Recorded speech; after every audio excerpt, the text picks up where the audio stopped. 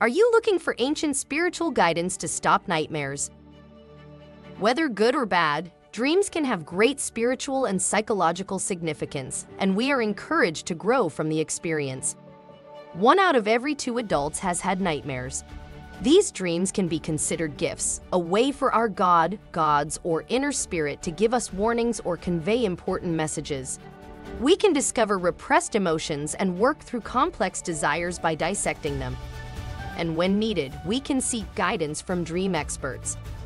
Many people have turned to ancient spiritual guidance when nightmares become too overwhelming. We discovered there are three different ancient types of spiritual guidance for nightmares. Number one, dream catchers.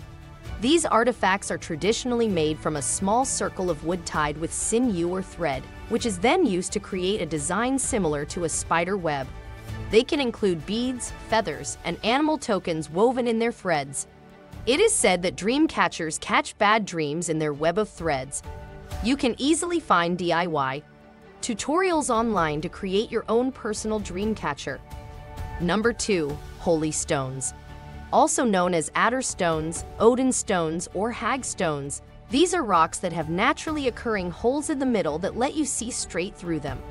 These stones prevent nightmares when you thread them with a red string or ribbon and then hang them over a person's bed. Number 3. Herbal Antidotes Herbs have long been used to ward off bad dreams by ancient civilizations worldwide. They were placed under pillows or beside a person's bed to prevent nightmares. Two examples are mugwort and chamomile. Artemisia vulgaris, mugwort is named after the Greek moon goddess Artemis people in China and Germany used mugwort for both spiritual and medical purposes. Chamomile, which is more commonly used for sleep today, was once used by Romans to calm upsetting dreams.